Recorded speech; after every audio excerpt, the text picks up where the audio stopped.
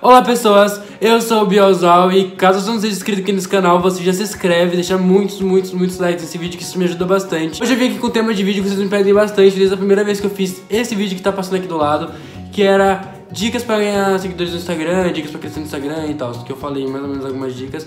E hoje eu vim fazer uma parte 2 desse vídeo, que eu vou fazer um novo vídeo de como ganhar seguidores no Instagram, como ter um perfil melhor, enfim. Eu queria totalmente desvincular o meu canal sobre Instagram, essas coisas, porque no começo eu falava muito disso, mas como vocês me pediram bastante, eu vim aqui com algumas dicas que eu escrevi pra vocês de como vocês ganharem seguidores. Não muda muito das outras dicas que eu falei já aqui nesse canal, mas eu vou revisar elas e acrescentei alguma. Caso esse vídeo tenha atingido alguém que nunca viu os meus vídeos de dicas sobre Instagram, você já se inscreve aqui que meu canal tem vários assuntos sobre várias coisas. Raramente agora eu tô falando sobre Instagram, eu falo mais sobre minha vida, tem...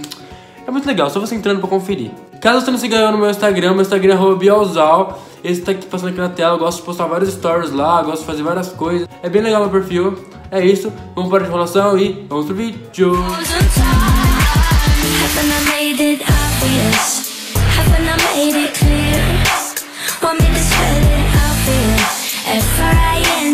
Eu não sei quantas dicas eu separei aqui nesse bloco de notas meu. Algumas coisas que me ajudaram muito a crescer no começo e que algumas coisas que eu faço até hoje, sabe? Tipo, não todas as coisas que tá aqui eu não faço até hoje porque eu prefiro não precisar mais, mas no começo eu fazia todas essas dicas que tá aqui. Gente, a primeira dica que eu coloquei aqui, que é uma coisa que eu acho que ajuda muito você a ganhar bastante seguidores, ou tipo, as pessoas te não usarem mais, é você ter uma foto com fundo claro no perfil do Instagram. Nossa, faz toda a diferença, de verdade. Ai, gente, o vídeo tá cantando muito alto. A segunda dica é você ter um tema pro seu Instagram. O que, que é um tema? Tipo, sei lá, é, organiza seu feed com o intuito, sabe? Se você ficar com um monte de coisa misturada, as pessoas não vão ter um foco, tipo um nicho de pessoas para te seguir. Vamos supor, você quer um Instagram que fale sobre fitness? Então faz um perfil só sobre isso, entendeu? Você quer um Instagram que fala sobre música? Faz um Instagram sobre música, porque isso faz você achar as pessoas certas que querem te seguir, entende? Tipo, meu perfil é mais blogueirinho, menininho Tumblr. As pessoas que gostam desse mundinho assim, Tumblr, vão me seguir, obviamente. E a mesma coisa que se você tiver com, supor, Instagram de fotos, sei lá, de paisagem. Pessoas que gostam de fotos de paisagem vão encontrar seu Instagram e vão seguir, entendeu? Então por isso você tem que ter um nicho de pessoas que gostam das coisas que você posta.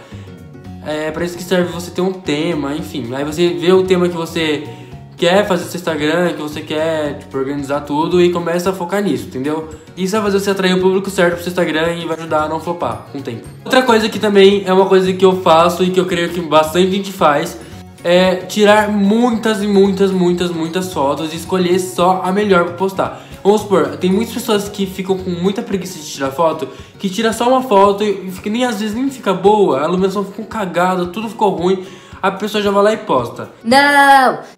Não faça isso. Você pode tirar, tipo, um milhão de fotos e escolher uma postar. Por exemplo, eu vou printar minha galeria aqui pra vocês verem, passando aqui do lado, de como que eu faço pra tirar minhas fotos. Tipo, eu tiro várias, escolho só a melhor e posto, entendeu? Se você tirar só uma e já postar na hora, a não ser que você seja uma pessoa muito bonita, ou que, sei lá, você goste muito da foto na hora, tudo bem.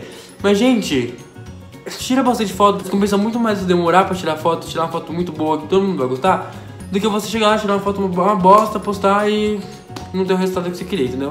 Por isso que é muito bom você esperar, tirar várias fotos, escolher, ó, só top postar. Depois que você já tem a sua foto muito boa, sua foto maravilhosa que você amou, você precisa ter um filtro pra postar. E, gente, pelo amor de Deus, não, nossa, não seja essas pessoas que ficam colocando vários filtros diferentes no Instagram, que ficam uma coisa horrível, fica um carnaval no feed. Então, se você quer ter um feed bonitinho, coloca só um filtro. Vai em algum aplicativo que tenha vários filtros prontos, ou usa um Lightroom, cria um filtro, uh, um filtro próprio para você e use em todas as suas fotos. Mas sempre use o mesmo filtro, porque se você começar a colocar vários, vai ficar uma bosta, de verdade, vai ficar um feed feio de, de olhar.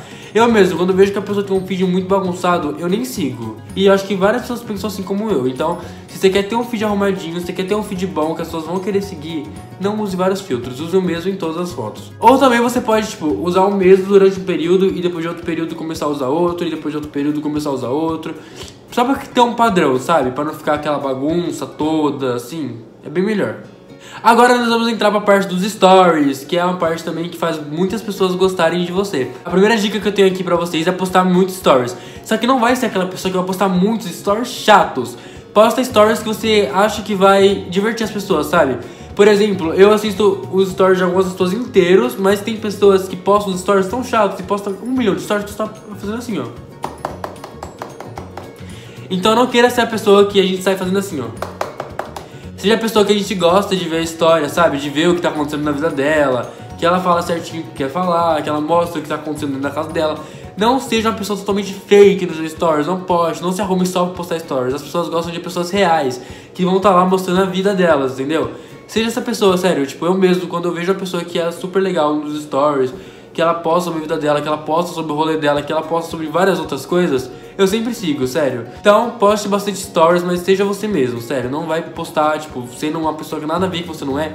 Não vai ficar se arrumando pra fazer stories de blogueirinha, porque, gente, não tem coisa mais chata de que a gente só posta coisa perfeita no stories posta a sua vida real. Agora que já falei dos stories, vou falar sobre o feed do Instagram, porque ultimamente tava a maior polêmica, né? Que as fotos de todo mundo tava flopando, que ninguém tinha tanto de curtida que queria, que as curtidas do Instagram floparam. Vou contar pra vocês uma coisa que eu sempre fiz e que eu faço ainda de vez em quando e que ajuda bastante meu feed a não flopar. A primeira coisa é, não seja uma pessoa fantasma no Instagram. Não adianta você querer que um milhão de pessoas curtam as suas fotos, sendo que você não curte a foto de ninguém. Primeiramente, para suas fotos serem recomendadas no Explorar, as pessoas, tipo, seu perfil tem que curtir, pelo menos a maioria. Se uma pessoa que tem 10 mil seguidores curte sua foto, é bem provável que ela já apareça por mais um tanto de gente lá no Explorar, entendeu? Então curte as fotos das pessoas também para ajudar elas e elas vão ajudar vocês curtindo de volta, com certeza. Então vai no seu feed, todas as pessoas que você segue, todo dia quando você estiver sem fazer nada, vai lá, fica descendo o feed, aí fica curtindo todas as fotos.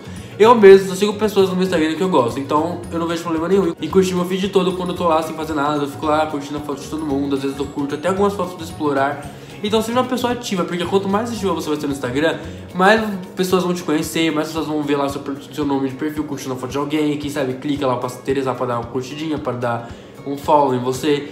Enfim, seja uma pessoa ativa que tá lá sempre curtindo, curtindo, curtindo a foto de todo mundo e é isso. Aproveita que você já tá curtindo a foto de todo mundo e comenta também a foto de bastante gente. Porque quando você comenta, tem pessoas que vão lá só pra te seguir. De verdade, que vão ver as pessoas comentarem a foto de outra pessoa só pra te seguir. Então comenta fotos de bastante gente, que isso vai ajudar bastante também. Mas vai fazer comentários legais, não vai fazer comentário chato, que a pessoa vai te ignorar e vai deixar você falando sozinha. Eu vou querer te seguir se você fizer comentário chato. Agora, se você fizer um comentário legal, várias pessoas vão querer te seguir falar assim, ah, ele vai, vai querer comentar minha foto também, né? Sei lá.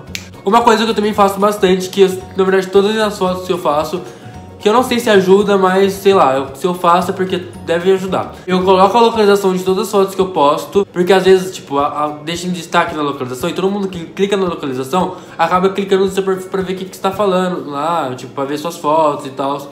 Então, eu sempre coloco a localização de todas as minhas fotos. E também eu sempre me marco nelas, pra caso, tipo, ela vai explorar, as pessoas vão clicar assim pra ver, já viu o marcadinho, já vai clicar nesse perfil pra dar uma olhadinha e acaba de seguir, entendeu? Então uma coisa que eu sempre faço mesmo é colocar a localização e me marcar em todas as fotos que eu posto. E por último, outra coisa que eu também faço é manter seus seguidores curiosos. Vamos supor, se você postar uma foto 7 horas da noite, então vai lá, tipo, umas uma hora da tarde você posta, gente, hoje à noite eu vou postar uma foto maravilhosa, então vamos lá curtindo, não sei o que, não sei o que. Deixa as pessoas curiosas pra ver suas fotos e tal.